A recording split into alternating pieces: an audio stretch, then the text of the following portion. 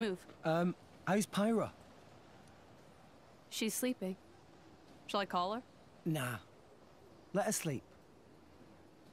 She's been through a lot. You're too kind.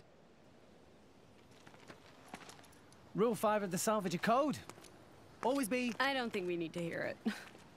Come on, let's go. Hey! At least let me finish, spoil sport.